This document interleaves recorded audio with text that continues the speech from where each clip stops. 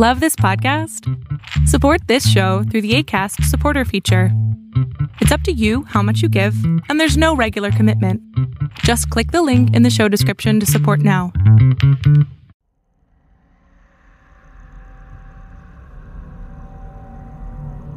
You're about to enter into a new world of knowledge, curiosities, and high strangeness. This is a podcast of Straight Up Strange Productions.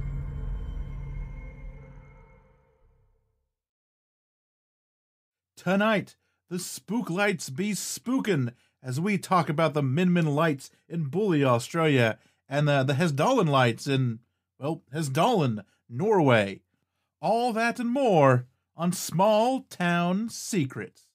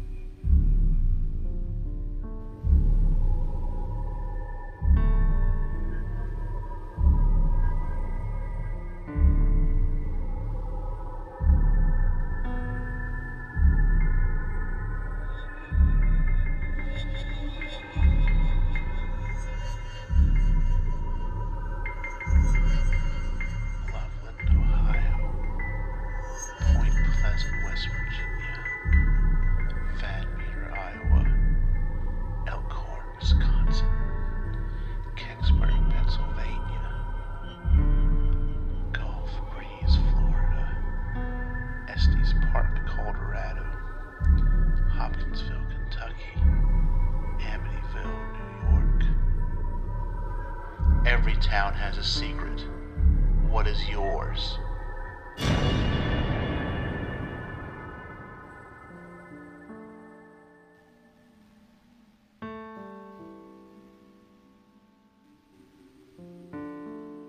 Hello, everyone, and welcome to the third episode of the fifth season of Small Town Secrets. And listen, actually, it probably doesn't even matter with the music, but I have finally found and isolated the weird interference noise that has been plaguing the show since I moved the office around. Now, to most people, unless for some reason you listen to this episode or this episode, this show on like really awesome headphones, or maybe you've got it cranked in the car on a late night drive or something, you probably never even hear that. But for like the last, I don't know, eight episodes maybe, there's been little noises and stuff from the router because now I'm so much closer to it. But uh, I have finally been able to figure out a way to isolate it and uh, keep it from pipping and popping over the mic and uh, not have to just unplug it or something. You know, uh, it's it's nice to have the internet on the entire time uh, because what will happen is I will unplug it, forget that I've unplugged it, and then get very mad when it won't work when I go to try to upload the show until I remember that it is I who have caused such a thing. Uh, but that just one, you know, in case if anyone has ever heard that on their speakers or in their headphones or whatever, and it's been driving them nuts. I'm sure there's like two of you out there that have uh, that it's been bugging for weeks, but it should be gone now. So if you do still hear it, uh, I have another problem, I guess, that I have to fix. But this is the third episode. This is, uh, I think, it's going to be kind of a laid back episode, uh, trying to get back on schedule from last episode and all of that. I've also, if you've noticed, this episode will come out on Sunday morning, late, late Saturday night. I've decided to uh, push the show back a day uh, because it's really helping out right now with getting back into the swing of things and getting back into work and uh, having an extra day, not just an extra day, but an extra day of being off and not having to do anything has really helped the last couple of episodes uh, breathe a little bit and give me some breathing room. So I'm gonna rock the Sunday morning and see how it goes. Um, you know, I used to always try to keep Saturdays and stuff open for plans and whatnot. Uh, but I'm too much of an introvert, and being stuck in a pandemic has made made me more of one. So I'm like, yeah, you know what? Uh, I could just stay in every other Saturday night and do the show. I'll figure it out. Uh, but no, I'm really digging it so far. Yes, the show will come out, but it'll give you something to do on your lazy Sunday nights or Sunday mornings whenever you listen to it. Also, that's a great thing. It's a podcast. You can listen to it whenever the hell you want to. But what are we going to get into tonight? Uh, I want to talk about spook lights tonight. Uh, Will o' the Wisp, jack o' lanterns, many names, and there's a bunch of them that I could have chosen. I could probably do like a whole nother episode on lights, uh, spook lights, mysterious, you know, bouncing lights, uh, and I might, but I don't know because after a while they are kind of very, very similar. But I wanted to hit two that I think are interesting, have similarities, but are also very different. We're going to talk about the Min Min Light at, near Boulia, Australia. So we're back in Australia, second time, second show in a row with Australia, and uh, then we're going to go to Hessdalen, Norway, and talk about the Hessdalen lights, which have a very different thing going on, and are probably our best shot at actually figuring out what spook lights, uh, spook spook lights actually are. And if you want even more spook light goodness, uh, head over to Patreon, patreon.com slash stscast, or go to stscast.com and click on support, and there will be a link to it there as well, uh, where we're going to talk about uh, the Brown Mountain Lights in STS Backroads, which is the exclusive show that you get at the $5 level. So you can go and check that out if you're interested. Uh, like I said, extra sh- or not extra shows, a, an exclusive show which is kind of always an extension of this one most of the time. Uh, buttons and stickers and access to the music and all sorts of stuff that you can uh, check out a one dollar, three dollar, five dollar level. So if if uh, you want to hear about the Brown Mountain Lights and all of the other episodes that I've already done over there, then yeah, check out the Patreon and uh, help support the show if you can. Thank you very much. Uh, but let's move on. Let's talk about first the Min Min lights in Boulia, Australia.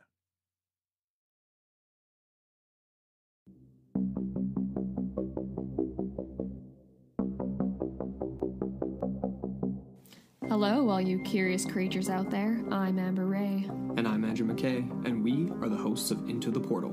If you like myths, legends, history with a paranormal twist, join us every week as we explore lesser known mysteries of our world and beyond. You can find us on iTunes, Google Play Music, and all other major podcast platforms, and at intotheportal.com, your gateway to the bizarre.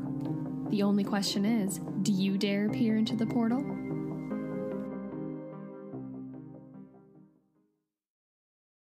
Three hundred and one people live in the tiny outback Australian town of Boulia. The town actually lies in the Shire of Boulia. It's part of Queensland, actually.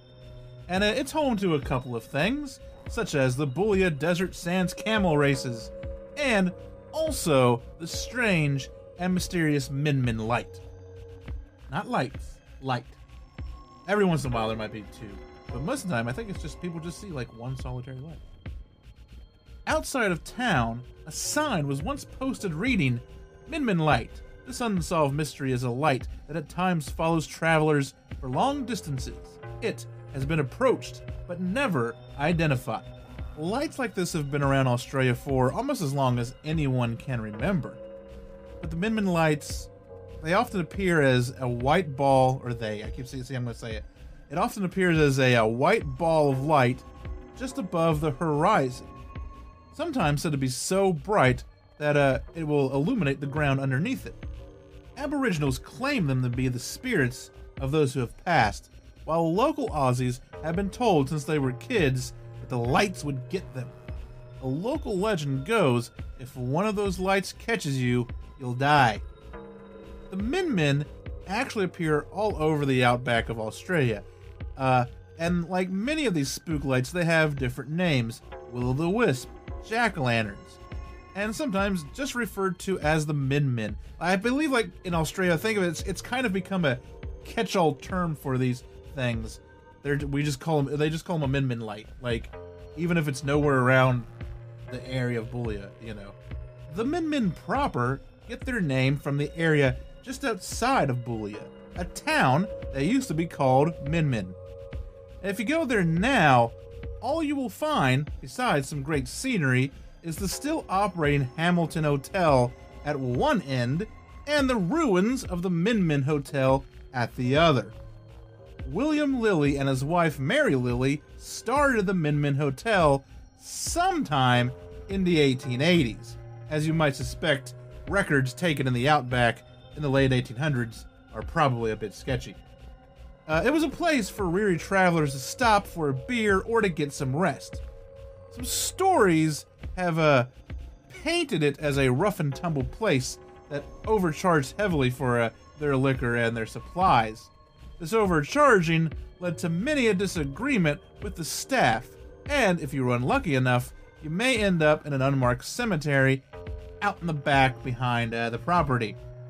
Or it may have been a quaint family owned business that had high prices simply because it was expensive to get product delivered to such a secluded location.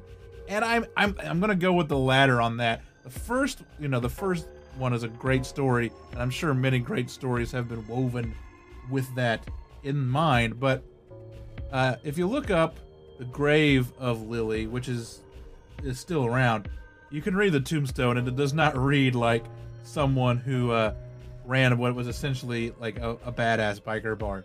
Uh, so I think it was just oh, it was it's expensive because we're out in the middle of nowhere, and there is a graveyard out there, like a cemetery with them with some unmarked graves.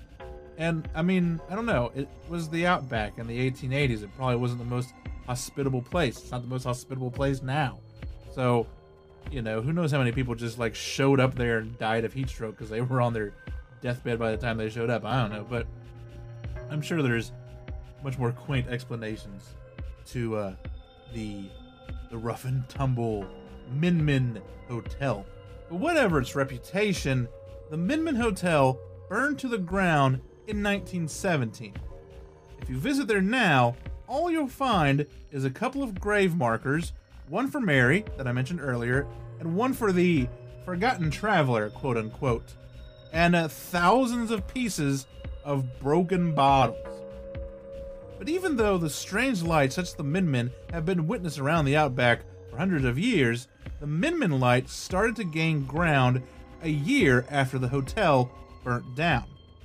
As the story goes, in 1918, a stockman was making his way from station to station, checking on the livestock as he went. And a stockman was basically, he'd get on a horse and he'd ride around the ranches and he just checked to make sure that, you know, nothing was out of place, that cattle or whatever were not where they were supposed to be. It was night by the time he made it to where the hotel had been. He looked over his shoulder and something caught his eye. It was a bright ball of light. This ball of light had emerged from the cemetery and proceeded to chase the stockman and his horse to the next station house. It was there that he told authorities about the encounter. And so, because of this, because it came from right by the old Min Min Hotel, it, they, it got the name, of course, the Min Min Light. Since then, the light has chased many off. As the stockman gave away to truckers, truckers soon found themselves being tormented by the strange light. Countless truckers had been chased by the Min Min over the years as they drive down Highway 62, which is which just goes right through the area. Often being scared out of their minds, especially if it's their first time down 62 just outside of Boulia. And I'm going to link it in the show notes. If you have Amazon Prime, there is a series called Australian Skies, but it's spelled Australian, alien, get it? Skies, and they've done like two or three of these, and you can watch the second one. The second one you can just watch. The other two you have to rent. I'm not sure why, but the second one is all about the Min Min light, and uh, there is a great part in there of of a woman and her daughter are like you know they're trucking down down 62 and they're just you know just scared to death of this thing behind their truck and the daughter has the entire thing uh, recorded on her iPhone. You can like you don't really see them, but she's you know recording the back of the truck or holding out the window. I'm assuming, uh, and just has this light on camera. So it's one of the best parts. Check out that documentary. Uh, I'll link it in the show notes. Australian skies. I think "Search of the Min Min" is like its subtitle, but that was a big chunk of this, and it's a great watch. Not only does the Min Min like to chase, but there have been plenty who have decided to chase back. The problem is, they never seem to make much headway in catching up to the thing. Imagine running after this strange object at night in the middle of the desert and never catching it or even up to it. Now imagine giving up and realizing that you are now stranded out in the desert at night. Perhaps this is why uh, many say that if you chase the Min Min, you'll end up in tears. And a lot of people talk about how you know it's it's a deserty place and stuff like that is very hot during the day, but they also can get pretty cold at night. And I feel like if you don't know where you're at, you don't know what you're doing, you probably don't want to start chasing a mysterious light, only to get stuck who knows where, and now you're just out out against the elements. Doesn't sound like a fun time. There are, of course, uh, many ideas about what the light could be. Could the Min Min be caused by a piezoelectric effect, similar to that caused by quartz crystals?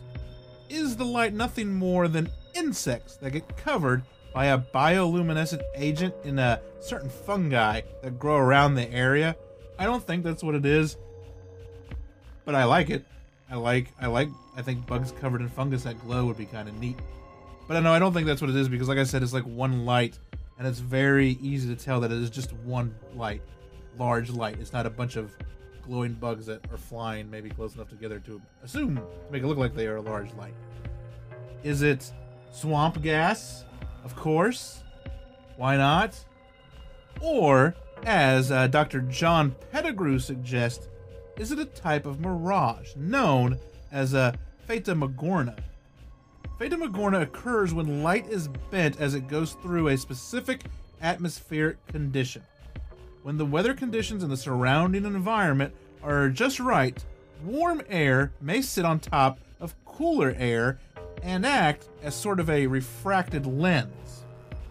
This type of mirage can shoot an image such as lights over uh, great distances. Also, make objects such as ships appear to be floating in mid-air. The uh, Fata Morgana explanation does hold some water, with uh, the area around where the Min are seen. In the winter around Boulia, when the conditions are just so, large hills that are 40 kilometers away appear much, much closer. If you didn't know any better, you would think that these hills are, say, 10 kilometers away. But if you watch them, if you sat and just observed them in the morning when they appear, you would sit there and you would watch them dissipate as the morning turned into the afternoon. Fata Morgana does explain a lot, but not every encounter fits. Some have observed the light below the horizon line. Uh, there have been a couple of people who have seen the light uh, in caves, or they've been in a cave and have seen it. So I don't think you're going to get a reflect. You're going to get that going on in a cave, right? And then there's the tale of Matthew Curo. Curo was a railway worker in 1997. One night at around 9 p.m., Curo and two other men decided to drive around and check on some of the railroad. Curo was in a truck with a fellow employee when they saw a bright light in the night sky. They followed this light down to a river and they watched as it crossed the river. Mirages uh, don't cross rivers. They turned off the light and the car, so the lights to the car and the car itself, and after disappearing for a couple of minutes, it came back at the truck, crossing the river again. So now, now it's coming back at him.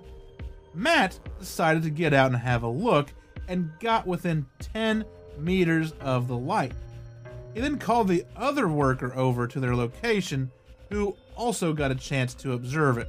And as soon as that guy joined the other two, uh, uh, he was done with it, and so was Matt's uh, buddy in the truck. Neither one of them wanted to hang around anymore. They were ready to be done with the Minmin light. Matt, Matt, not quite. See, Matt noticed that the light didn't seem to like the noise and the light coming from the truck. So he decided to take a walk up to the railway bridge and uh, just find some peace and quiet. The light soon appeared in front of him. Hiro followed it for a while, trying to touch it. He could just reach out, but the light was able to stay just out of reach. Eventually, the light dulled in color and just shot off at tremendous speed down the railway. Over the years, Boulia has embraced the Min Min. In 2000, they opened the Min Min Encounter Center, which is a museum slash attraction to educate people on the history and the folklore of the Min Min Light. Many of the points of interest, such as the Unknown Traveler's Grave and uh, and other stuff like that, are uh, adorned with informational signs, almost like a park. Like you know when you go into some parks and you pass like you know the ruins of someone's house that lived you know back when the park was just land, and there's a placard saying that or whatever. That's what those are very much like. I think I might have a picture of, not of one, but if you look in the picture, you will see it. So the Minmin light, it's still out there today, and uh, we're still not quite sure what it is.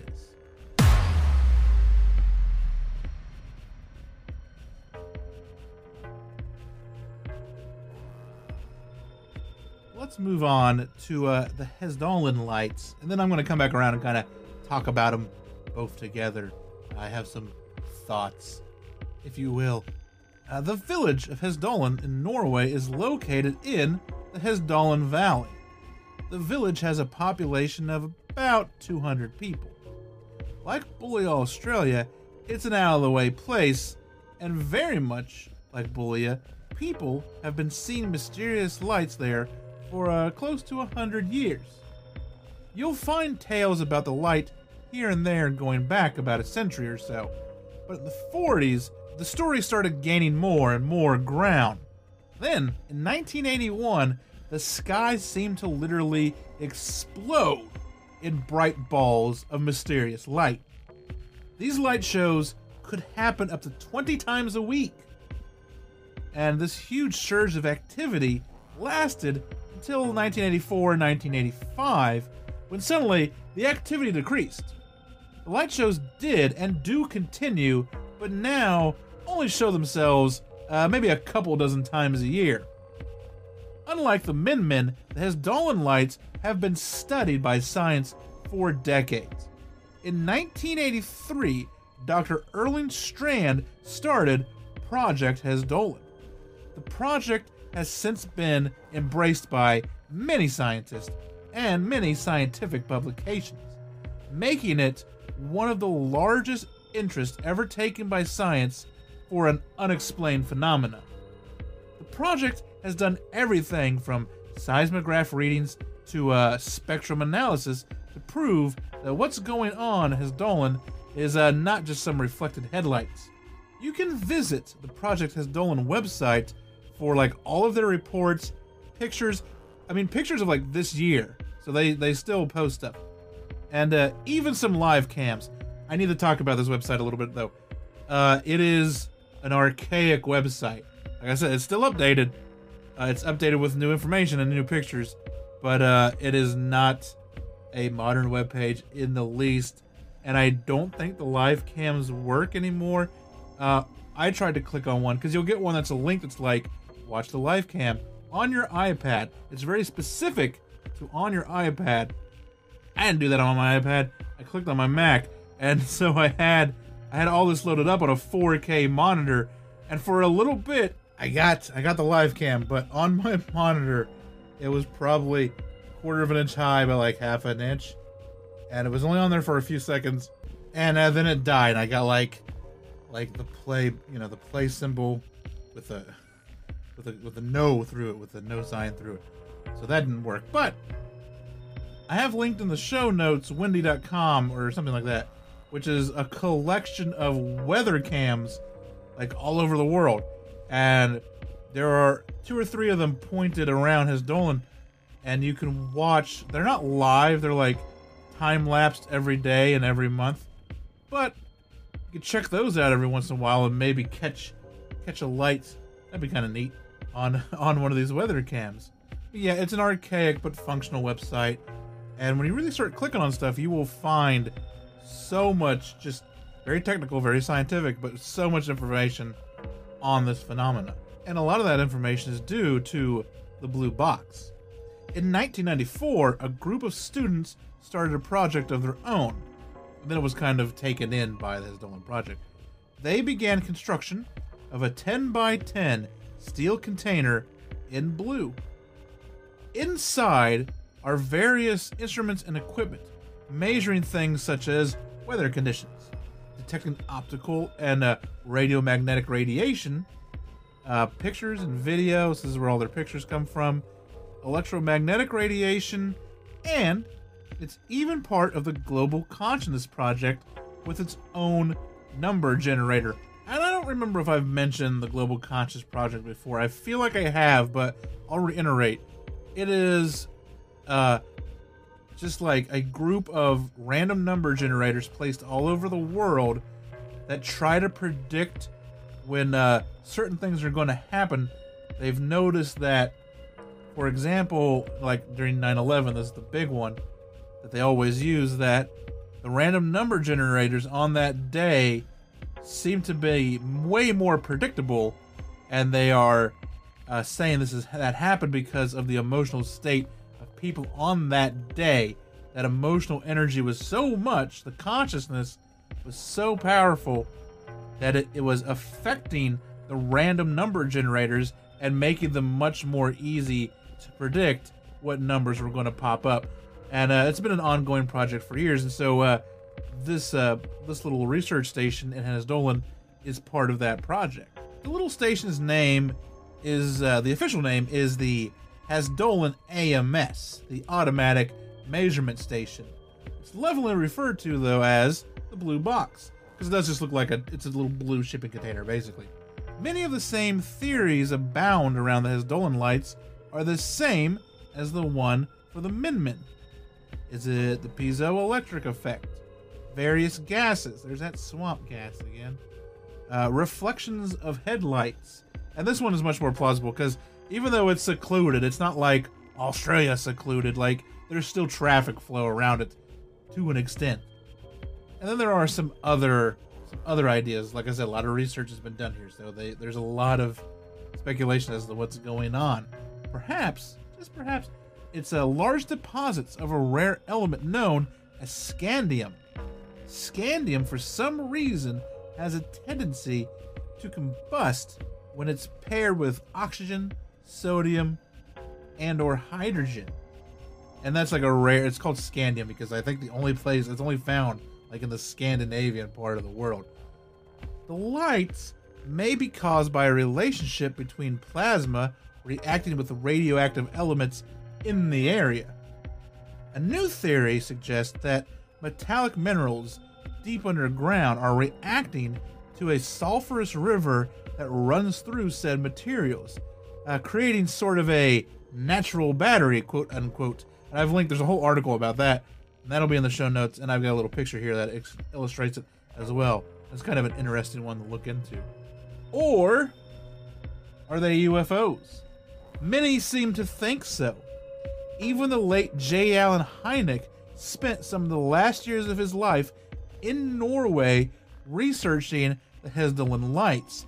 And uh, if you're not familiar with who J. Allen Hynek was, he was kind of the main scientist that was uh, partnered with Blue Book.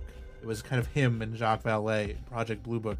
But you know, in the '80s, there's some you can find great little video clips of him just uh, bundled up in this huge coat, you know, fur around his head, big old beard, snowing, and he's just talking about his little lights and how excited he is to be there. Uh, I can't find that entire video. I can only find like 10 seconds here and 15 seconds there, but there it is out there. You can find it, and it's a fun little thing to watch. whatever they are, they seem to keep to the skies. There have been thousands of sightings of the lights, but nothing one would call encounters. The lights have never interacted with anyone, unlike the Minmin light. The Hessdalen lights do not seem to have a mind of their own. The Hessdalen lights fall into the category of, if not paranormal, it's still pretty damn interesting, at least to me. They provide a mystery that has people camping in the hills around Hessdalen for more than 40 years, and probably will for some time to come. Uh, like, I think, so this is kind of where I'm at with both of these. I feel like Hessdalen lights are going to turn out to be something very grounded in reality. They're going to be a, a, natural battery or something like that. They're going to turn out to be something I don't think paranormal, but something very interesting. Or, I, I mean, I could be completely wrong. Not a scientist. Uh, and I think the Min Min, I think there's something much more esoteric about the Min Min light. Uh, I think some of what people see in Min Min is this whole Fata Morganic mirage, but not all of it. Like, like I said, so it's called the they call it the Min Min Light. Uh, if you're really cool in Australia, you just call it the Min Min. Like you don't even put light on the end of it. So it's not lights, it's light. When people see the Min Min light, the actual one, they are seeing one solitary light, at least as far as I can tell. So, what is that a reflection of? Is it a reflection of like a motorcycle headlight? If so, are there enough motorcycles driving down this desolate stretch of road at night? The thing only shows up at night, doesn't show up during the day. At night, uh, I don't know. You know, it, it, I'm going to go back to that documentary. The first they camp out there for a couple of nights while doing stuff, and uh, that first night, man, they're like, "Oh, there it is, we see it," uh, and they very quickly suss out that they are seeing headlights in the distance because they're seeing two of them. But like I said, it's one light. It is a light, which back in the day, the effect, the Fata Morgana effect, could have been chalked up to just simply being a campfire out there. Like that's how sensitive this place can be this this uh, phenomenon can be. So I feel like if you see the Min Min light, if you see one, I think you're seeing the Min Min light. If you see two or more, I think you're seeing some sort of mirage. Um, yeah, it's kind of. I think you know. I think that could be depending on where you're at, chalked up to both both of those explanations. And then, uh, also in that documentary, Pettigrew tries to say like hey, I try to tell these Hezbollah guys like, yo, it's it's this mirage effect, and they're like, no, it's not.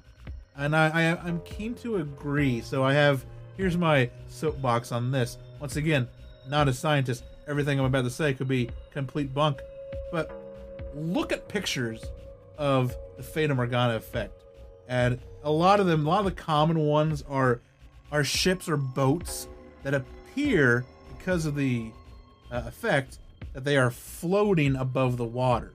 So I will paint you a picture of a picture with the word. You will have like, you know, the water, the ocean floor, and then you will have the kind of reflected lens effect, which will be like a distorted blue band because it's reflecting the sky, right? But there will be, there won't be anything in that band. Like it'll just it'll look blue, but if you look at it, and squint, you can see that it's a little distorted, it's a little off. And so that band is then kind of covering the bottom of this ship. And that's why the ship, where it's pushing up that blue light in front of the ship, and that's why the ship looks like it's floating because you can't see the bottom of it. Uh, they show, like when I talked about those hills in that dock, they show those hills. And it's the same thing. You don't see the bottom of the hills, you see like a blue band of blue sky kind of, you know, pushed up in front of it, so it's covering that. So what I'm getting at though is like, you don't see stuff in this blue band. You don't see clouds or anything. But when you look at pictures, like I mean, not hard to find them. Like just get YouTube and Google Hessdalen lights. Like you'll find plenty of video, you know. And uh you'll notice very quickly that like not, not I don't think not a lot of them do that. Like you will see, even if there was like a reflection you'll see, you won't see that weird band. You'll see you'll see clouds above and below the lights. You'll see trees on a tree line, which with that with that effect, if I'm think, looking at enough pictures of it, uh, would be covered up by said reflection. So I'm not sure if the Hessdalen lights are the Fata Morgana. Maybe a few of them are, but once again, it's in a valley. Uh, I believe for that to really work, it's got to be a nice flat surface. So that's why it works so well, like out in the desert, out in the outback, because it's just flat and there's nothing. No trees. It's just flat, brown dirt and beautiful red brown dirt, but dirt nonetheless. And and then it works very well, of course, on the ocean because that is also just a flat nothingness to get in the way. But like in Norway, there's trees everywhere. We are in a like I said, we are in the Hessdalen Valley. So we there are hills. It's not a flat place. So I don't know if the Fata Morgana effect works for the Hessdalen lights. Uh, I said a lot of things there. It might have been a bit babbly. I hope that made a little bit of sense. So I think I think that's where we're going to see. I, I think one of these days, Hessdalen will give us some really cool scientific answer to what's going on, and Min Min will just become this is weird, a spook, spook, spook light, a paranormal light that uh, will defy explanation for a little bit. I also think, as far as Min Min light goes, I think it would be very interesting to uh, run an experiment with traffic. Get out there, camp out for a little bit at the Min Min Hotel ruins, uh, get some of those things that they put along the road to measure traffic, like you run over it and it counts. Like it's just a little wire or a little piece of cable. It counts when something runs over it how much traffic it is. And literally just if those mountains show up 40 kilometers away, go out like 50 kilometers away or whatever. And every 10 kilometers, put put something that can measure the traffic and just keep an eye on it and be like, all right, we see two lights. We just had a car run over one of our, you know, one of our monitors at 50 k's away. Well, now it's at 30. You know, like and and see if there's a correlation.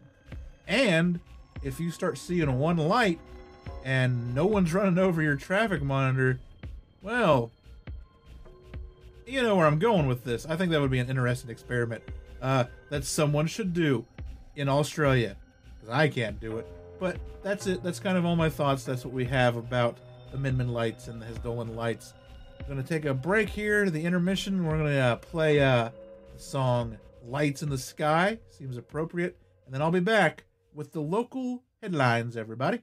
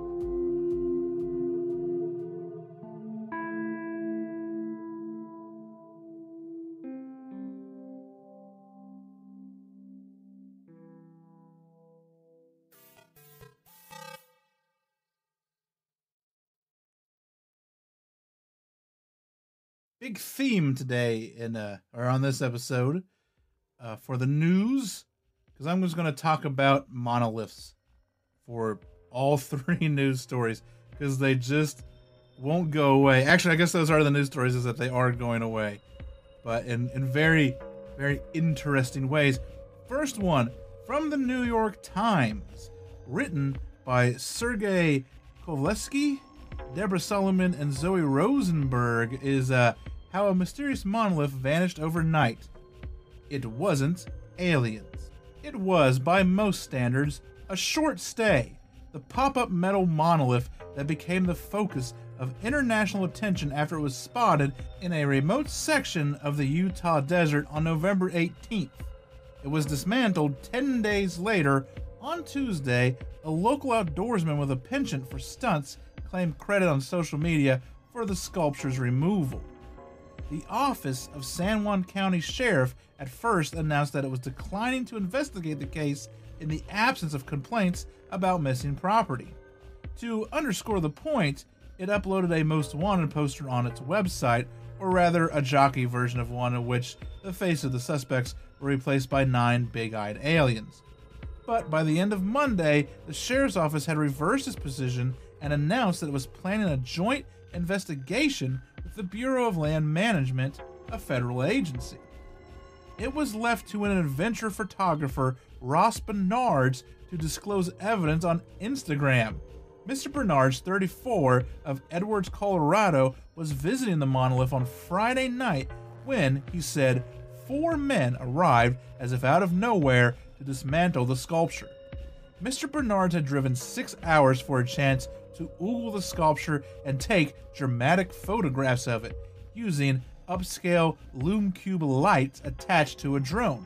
He produced a series of glowy, moonlit pictures in which the monolith glistens against the red cliffs and the deep blue sky of the deep blue night sky. And suddenly, around 8:40 p.m., he said the men arrived, their voices echoing in the canyon, working in twosomes with an unmistakable sense of purpose. They gave the monolith hard shoves and it started to tilt toward the ground. Then they pushed it in the opposite direction, trying to uproot it. This is why you don't leave trash in the desert, one of them said, suggesting that he viewed the monolith as an eyesore, a pollutant to the landscape, according to Mr. Bernards. The sculpture popped out and landed on the ground with a bang. Then the men broke it apart and ferried it off in a wheelbarrow. As they walked off with the pieces, one of them said, Leave no trace, Mr. Bernards recalled in a telephone interview. He did not photograph the men who took down the sculpture, saying he didn't want to start a confrontation by bringing out my camera and putting it in their face, especially since I agreed with them what they were doing. But a friend who accompanied him on the trip, Michael James Newlands, 38 of Denver, took a few quick, quick photographs with his cell phone. It must have been 10 or 15 minutes at most for them to knock over the monolith and pull it out, he told the New York Times. We didn't know who they were, and we were not going to uh, do anything to stop them, he added. They just came in there to execute, and they were like, This is our mission. The, photo- the photos are blurry, but they fascinate nonetheless. Here are the images of several men working beneath the cover of darkness, wearing gloves, but not face masks, standing above the fallen monolith. We can see its exposed inside. It turns out that it's a hollow structure with uh, an armature made from plywood. The photographs are the only known images of the culprits who removed the sculpture. They may have been the same people who installed it in the first place. They may not, I'm sorry, they may not have been the same people who installed it in the first place. On Tuesday, Andy L. Lewis, a professional sportsman in nearby Moab, Utah, a place I very much want to go, took credit for the sculpture's removal with his group, posting a video on his Facebook page. Mr. Lewis, a 34 year old uh, slackline performer who specializes in high altitude stunts, and brought his uh, sport to Madonna's 2012 uh, Super Bowl halftime show. His video consists of a short, shadowy clip, barely half a minute long, that shows the monolith laying in a wheelbarrow as someone quickly rolls it out of the park. The safe word is run, one man says, as his headlamp illuminates the fallen sculpture. His friend, Sylvan Christensen, who said he had taken part in dismantling the sculpture, sent the statement to the New York Times on Tuesday. evening explaining that the group took it upon themselves to destroy the sculpture to protect the area, not only from the incursion of the silvery sculpture, but also from gawkers who had begun descending to see it. The land wasn't physically prepared for uh, the pollution shift, they wrote, adding that the public needs to be educated about proper land use and management. But Mr. Lewis has not always been so supportive of the challenges faced by the Bureau of Land Management. He pleaded guilty in federal court in Utah in 2014 to uh, lying to rangers at Arches National Park, a place I was going to visit, and then uh, just never made it there. He was accused of hindering their investigation into base jumping, a sport that Mr. Lewis practices. At the time, the Bureau of Land Management was trying to prohibit such aerial sports, which can damage the homes of owls, bighorn sheep, and other animals that inhabit the desert. Mr. Lewis was fined $965 and uh, was put on 18 months probation, during which time he has profited, he was prohibited, I'm sorry, from entering a national park. Asked if they were focusing on any suspects, Alan Freestone, chief deputy with the San Juan County Sheriff's Office, said on Tuesday, I know they have some leads, and that's all I'm going to say right now. Artists have been casually speculating that whomever put up the sculpture had probably taken it down uh, once it was discovered, as if aspiring to be an anonymous artist activist, uh, the Banksy of the, the Banksy of the desert. But art world speculation has not yielded too many facts. Initially, the monolith was linked to John McCracken, a California born artist who died in 2011 and harbored a taste for science fiction. David Zwirner, the New York art dealer who represents the artist's estate, had first identified the monolith as an authentic McCracken, stepped forward on Monday to tell the Times that he had studied photographs of it and no longer had any idea who made it. Almine Rech, who represents the artist at her galleries in Paris and Brussels, also contacted a reporter denying that the desert monolith was a McCracken. All of this leaves us no iota closer to solving the mystery of who entered, or who created, I'm sorry, the Utah sculpture. On the plus side, the monolith that captivated the country over the past week, then disappeared as quickly as it entered public consciousness, continues to provide a pleasant sensation of uncertainty. Would it lose the aura of power if we knew who had created it? That's some magical thinking right there from the New York Times. The next one is uh, also from the New York Times. Written is it written by the same people? No, written by uh, Sarah Bahr, And this one says California monolith is removed and replaced with a cross. A group of young men chanting Christ is King drove five hours to dismantle the third shiny metal sculpture to mysteriously appear in the last few weeks, leaving a wooden cross in its place. How the third monolith to crop up in the past month arrived atop Pine Mountain in Atascadero, California, where it was discovered by a hiker on Wednesday, remains a mystery. How it left is no secret. Several young men, who officials said apparently driven five hours from Southern California, live streamed themselves tearing out the shiny three sided steel structure in a stadium park early Thursday morning and then leaving a plywood cross behind in its place. Christ is King, the men wearing night vision goggles and camo gear chanted as the grainy video as they toppled the shiny structure in a video that was posted to the streaming site dlive.tv by someone using the name Culture War Criminal, but later removed according to the San Luis Obispo Tribune. The Tribune described the video as at times racist and homophobic, and said the men sing along to country songs. One of the men said in the video that they had removed the structure to tell the alien overlords they are not welcome, according to the Tribune. Another claim they were operating on direct orders of QAnon and President Trump himself, referring to the conspiracy theory that falsely claims that Mr. Trump is being undermined by a group of Democratic pedophiles. More than 600 people were watching at one point, according to the paper. A second video posted shortly after the first showed the men dragging the monolith down the hill while shouting America First and referring to themselves as military veterans, according to the paper. The California monolith has been the third shiny metal sculpture to crop up in the past month. The first sculpture, which captured wide attention, was discovered in a remote section of the Utah desert on November 18th and was initially to believe that of the work of minimalist sculptor John McCracken, or aliens. Four men dismantled the Utah curiosity that had captured the country just 10 days after it arrived, but not before it appeared to spawn copycats.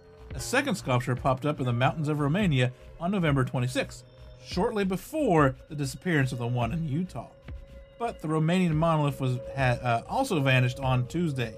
Uh, the Reuters news agency reported from Bucharest. Like the structure in Romania, the California structure appears to be a copycat of the original in Utah. It stood about 10 feet tall and weighed an estimated 200 pounds, according to the city of Atascadero.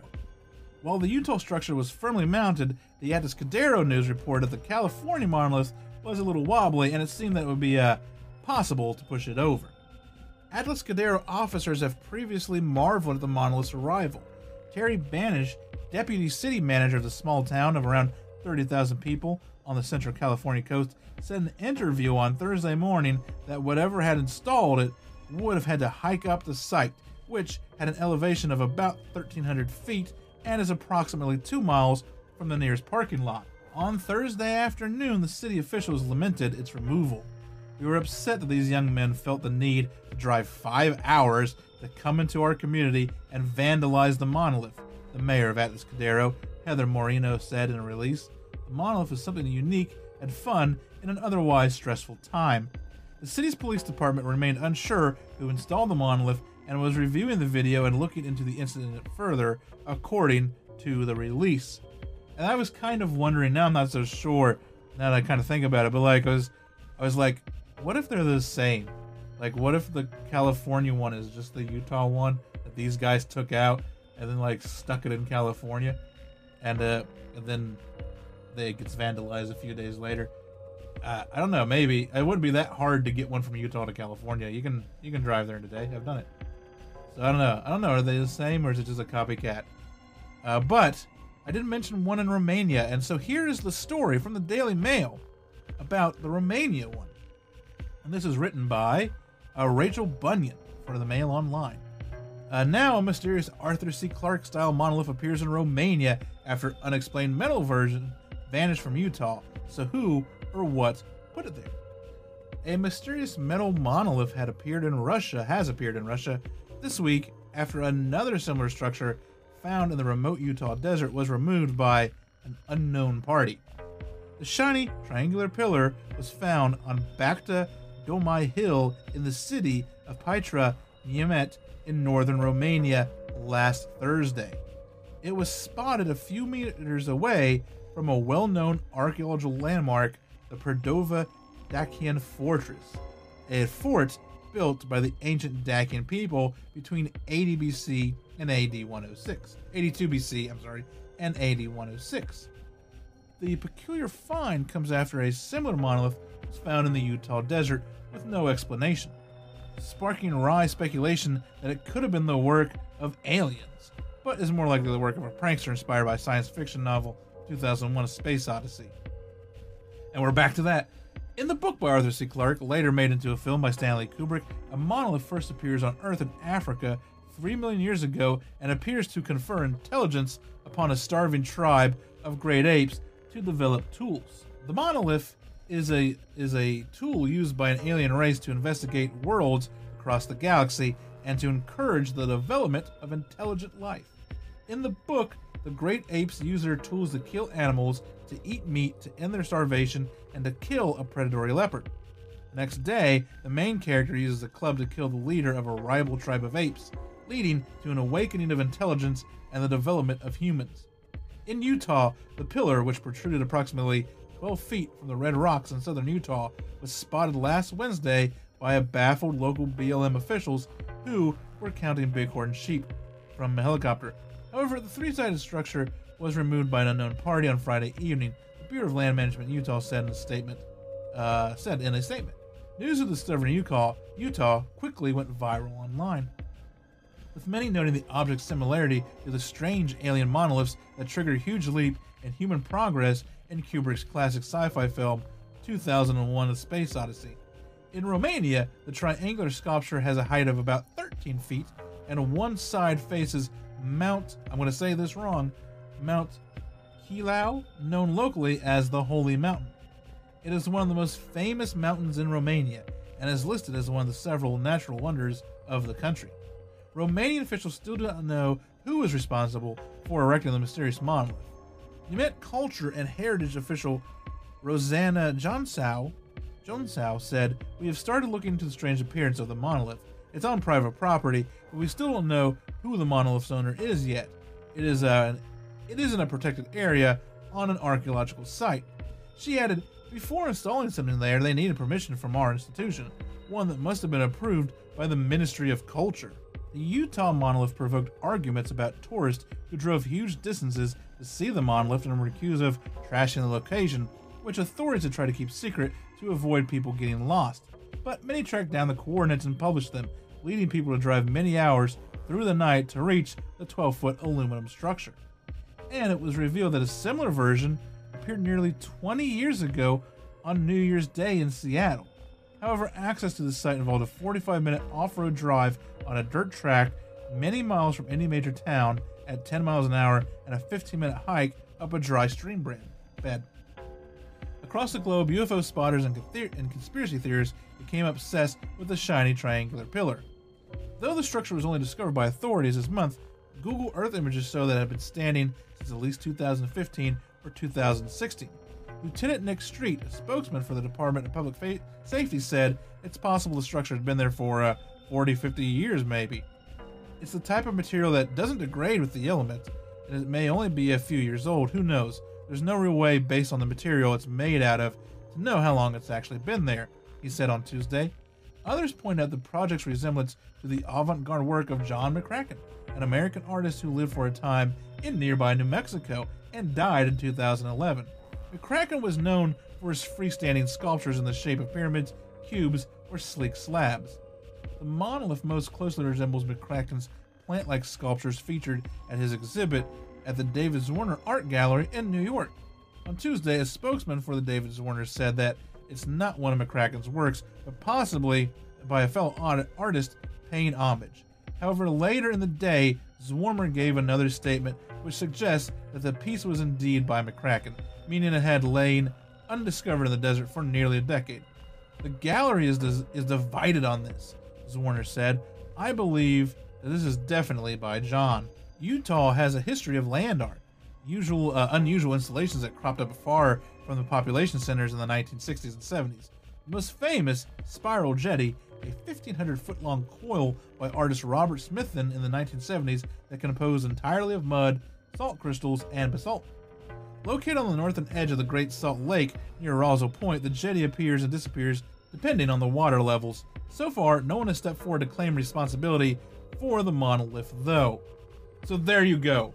The extensive uh, story of the monoliths up to this point.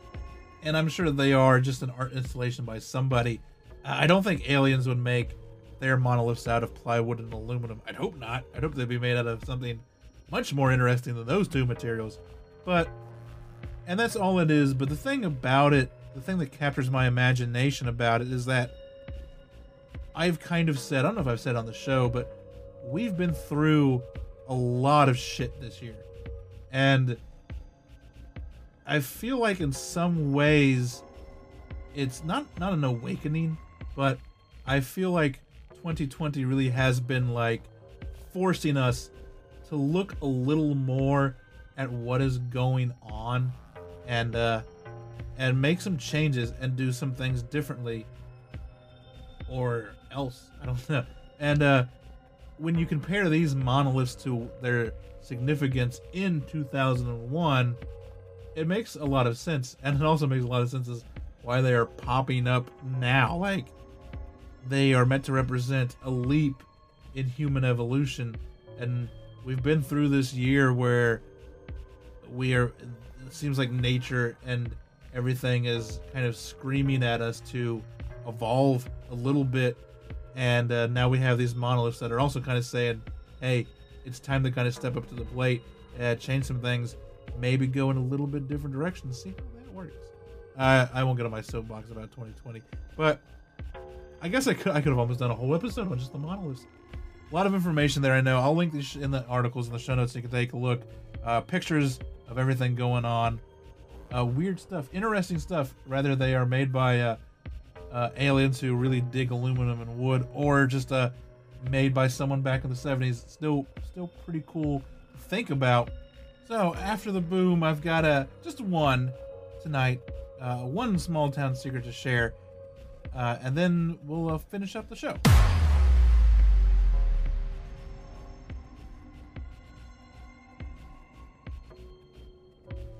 Uh, so yeah, just one tonight. Uh, the well is running dry, so if you have an experience you want to share, uh, please get it to me. Usually I do this at the end of the show, but I'm going to do it now. I have a lot of ways that you can do it. Go to stscast.com. At the bottom of the main page is an email form, and you can send me your Bigfoot experience, your UFO story, your local ghost legend, uh, your local haunted house, your true crime story that everyone talks about whenever you get together and get a few beers in you. Whatever it is, I want to hear about it. I want to put on the show. You can send me an article. You can type something up. You can uh, we can get on Skype or whatever and do it that way. Uh, you can record your own thing, and I can just throw it in, throw it into the show. But yeah, if you have one you want to share, that's the easiest way to do it. Uh, you can also go to my social medias. I'll do those at the end of the show and uh, get to me that way. But yeah, I need I need stories, people. I need stuff. Do have some interviews, getting those lined up. So hopefully, next couple of episodes we'll have some pretty cool interviews coming up.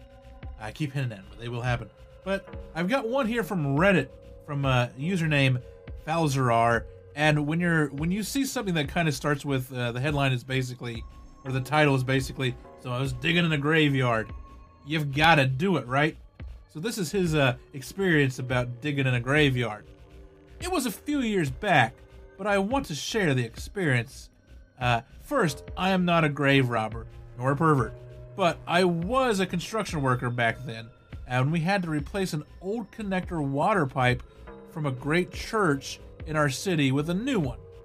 Around the church was a lot of green lawn, which, as we were about to learn, was used as a graveyard for the richer citizens from 1100 up to the 1800s. The thing is, the ground there is very clayey. That's a very probably pretty hard to dig through, which brings uh, the dissolving of human skeletons to a hold. This, mixed with the old grave digging habits from people back then, led to our excavator digging out lots and lots of human bones. As soon as it got deeper than one meter, it was pretty awkward, as the whole construction team was just standing there, sta- staring while the excavator unearthed whole skeletons and then cut them in half, because in real life, the bones aren't still connected like they are in cartoons and such. I, as the trainee back then, got the job to pick the bones from the earth pile the excavator created, uh, while my three coworkers just stood there refusing to touch anything. I stood there wearing gloves, taking up bones and like a complete skull, brushing them more or less, uh, cleaning and collecting them on a piece of cardboard. Until the archaeologists showed up on the site. They took photos, told us some of the facts of when this place was a graveyard before taking off again. After the work was done, we threw everything back in before the holes got filled up. The paranormal about this was uh, that as soon as I started working at the bones, I felt like being watched. Not only by my colleagues, but also by the dead. Not necessarily the ones I was holding in my hands, though. At some point, I was even able to see them, but only from the corner of my eyes. I was uh, around paranormal things since forever. I saw two people standing right next to the hole watching as I did my thing, but they disappeared as soon as I turned my head. At first, they seemed to be upset, gestures. I didn't hear them, but as they noticed I was very careful and respectful with the remnants, they stood there watching me. After that, they disappeared, but I saw them again. They reappeared in the same style on the always free back seats of our car as we headed back to the department. I was the only one seeing them, but my coworkers were a little bit creeped out by the fact that I had touched human bones without hesitating. Uh, the phenomenon stopped after I prayed for their souls later on. It was a fun job, and not the only weird experience. So, uh, once again, just he could have just talked about digging up bones in a graveyard, and that would have been enough. And then he sticks the the uh, being watched by things unknown, things behind the veil at the end of it. So that's what really took that story. Thanks for letting me use it. And uh, that's it. That is uh, your small town secrets for this episode. And there we go, episode three, season five, in the bag. It is Dunzo. Uh, yes, like I said, please go to stscast.com if you have an experience to share. Other things on that website. Everything's on that website. Merch is on that website. Um, Patreon links are on that website. Episode notes, pictures are on that website. Actually, I have to, I have to sit down and update. I forgot to update it last episode, so now I will have to update uh, two episodes tomorrow. But I'll get there. All of that is on there. Uh, you know, all the ways that you can find the show are on there. Social media links are on there. Speaking of social media, if you would like to engage with me on social media, I'm most active on Twitter. That is at stscast.com. Facebook is also at stscast. Instagram is uh, at stscast.gram. That's the weird one. That's the one that's always different. And that's where I'm at. That's where you can find me. Please, if uh, you can, leave a rating and review on your podcatcher of choice, especially iTunes. That's the one that helps out the most. That's the one that gets us most noticed and helps it float to the top. And like I say all the time, if you enjoy the show, uh, get someone else to listen to the show. Everyone out there gets one more person to listen, then the audience automatically doubles. So thank you for doing that. Thanks for supporting. Thanks for listening. And uh, I'm going to get off here, get this one uploaded, uh, eat some pizza that I probably shouldn't eat, and then uh, fall asleep. And then get up tomorrow and update everything. So that's the rest of my weekend. I, do something fun. Don't do that horseshit. Do something fun. So until next time, remember every town has a secret. What is yours?